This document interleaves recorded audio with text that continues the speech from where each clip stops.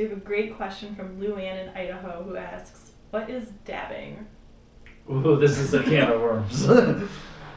okay, so dabbing, it's been called the dabbing revolution. Um, it's extraordinarily popular. Dabs. Dabs.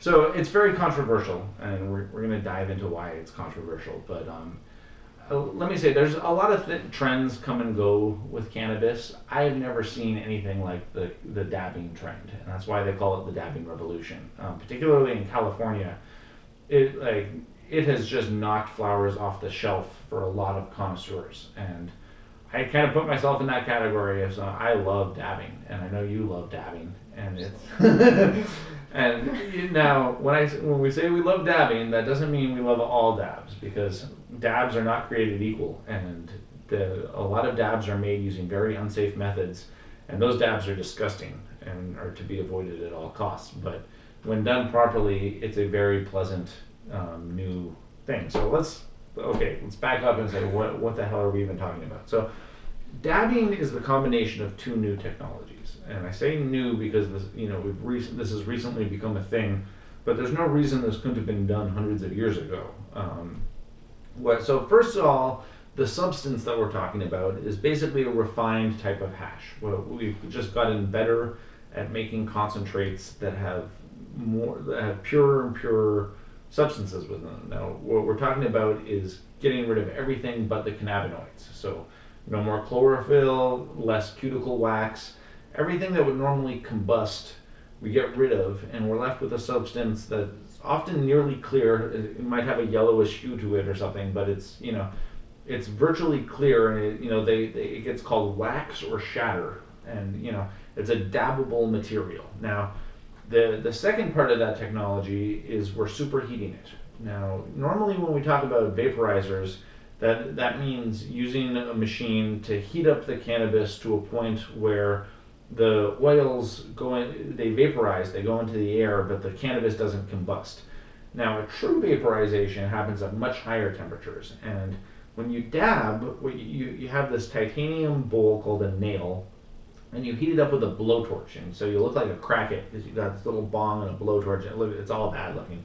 But that titanium nail heats up to a thousand degrees. It gets really, really hot, so it's glowing red hot.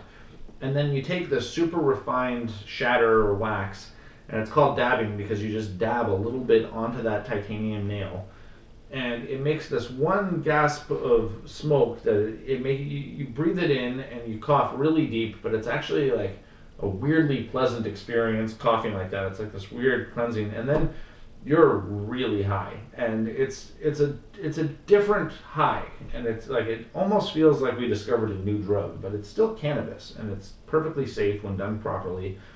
And like very often, very often when people first try it, they have what you know gets jokingly called a near-death experience, where they're like way higher than they've ever been. There's like we started a photo collage of people just on the floor, like way too high, but they you know very often you you try dabbing and you never go back. It is yeah, it, i mean it, your eyes don't turn red necessarily. You're you're much more awake. You're up you're you know you're very high but it's a very pleasant easy high that most people find much more pleasurable than traditional ways of consuming cannabis and i love it now you don't smell like smoke either. Like, Totally. Going places like you can do a dab and like go into a store. Not that that matters. Not you Yeah. go stoners, but you know people aren't like, oh my god, you reek of weed.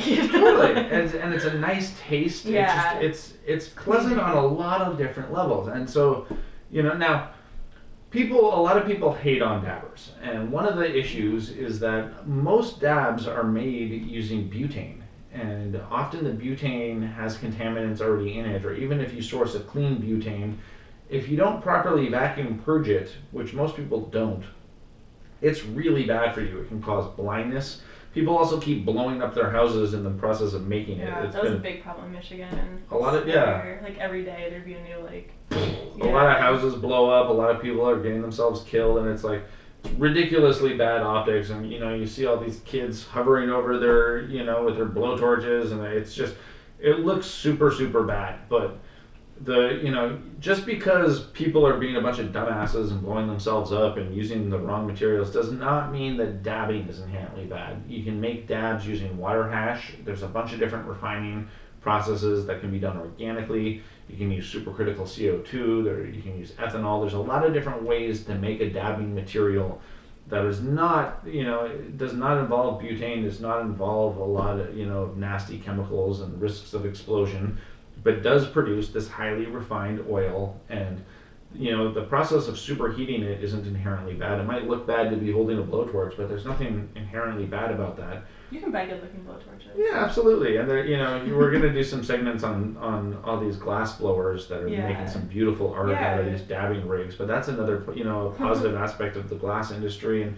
it's i don't know i see a lot of good in it. And you know with with anything in culture, you know, it's very common that the older generations kind of look at some new things that the young people are doing and look down at it and talk shit on it. But it's like the fact that almost everybody that tries dabbing loves it and never goes back says something about it. It's you know, there's something good there. And the you know one of the criticisms you hear a lot is this it spikes people's tolerance because you're ingesting higher and higher levels of cannabinoids.